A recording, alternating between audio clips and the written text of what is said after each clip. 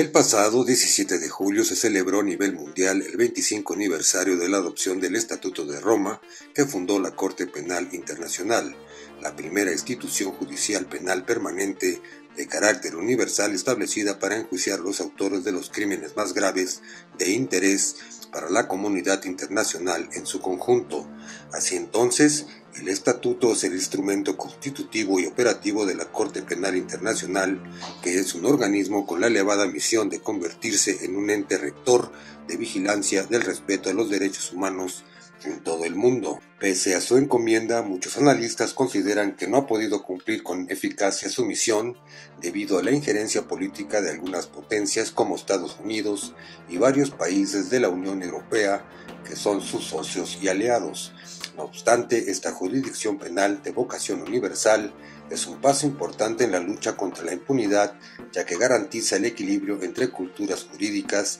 idiomas de la Corte, papel de los estados e independencia de la Corte y poderes del fiscal y derechos de la defensa.